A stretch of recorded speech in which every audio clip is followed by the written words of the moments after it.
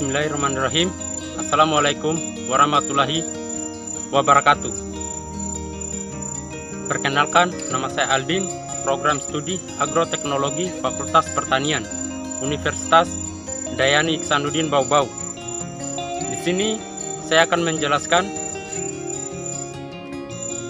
materi tentang hama penyakit tanaman mentimun. Cara pengendalian hama dan penyakit tanaman mentimun. Pengendalian hama dan penyakit pada tanaman mentimun sebaiknya tetap memperhatikan kondisi tanaman serta mengetahui gejala yang ditimbulkan akibat hama dan penyakit.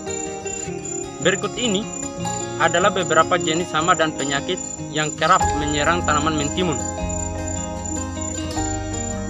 Hama tanaman mentimun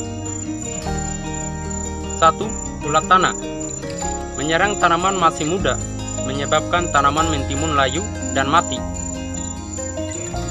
Pengendaliannya, lakukan pemangkasan bagian yang terbuang dari musnahkan, lakukan penyemprotan dengan insektisida berbahan aktif.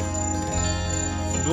Kutu puyuh Merusak bagian daun hingga menguning, bolong dan mati, Mem memekan daun hingga daun layu dan mati. Pengendaliannya, lakukan sanitasi lahan secara maksimal. Semprot tanaman dengan in insektisida berupa natural atau pestona sesuai dengan petunjuk. Di sini saya akan menjelaskan penyakit tanaman mentimun. 1. Reba semai. Reba semai fusarium yang menyerang pangkal batang tanaman. Gejala tanaman yang terserang muncul bercak coklat melingkar pada pangkal batang.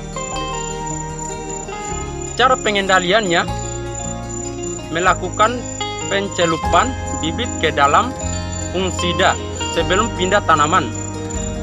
Penyemprotan fungsida pada saat pindah tanaman. Dua Layu fusarium. Tanaman layu mulai dari bagian bawah tanaman dan menjalar hingga ke atas. Tanaman pangkal batang terdapat bercak kuning, memanjang, dan coklat tua. Jika batang dipotong, terdapat cincin coklat pada berkas pembuluh. Cara pengendaliannya, lakukan teknik budidaya yang baik, seperti menjaga kadar pH tanah dan memberi pemupukan berimbang kocor dengan fungsida berbahan aktif benomil.